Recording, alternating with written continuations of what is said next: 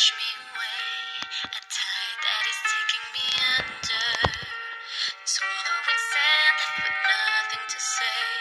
My voice drowned out in the thunder. But I won't cry, and I won't start to crumble. Whenever they try to shut me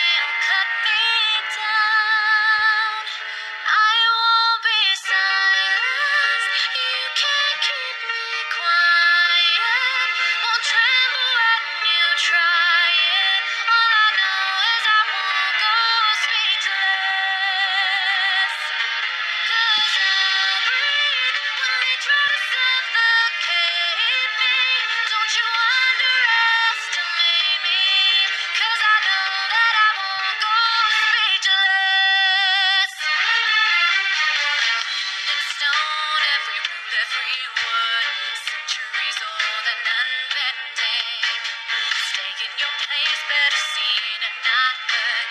Now that story is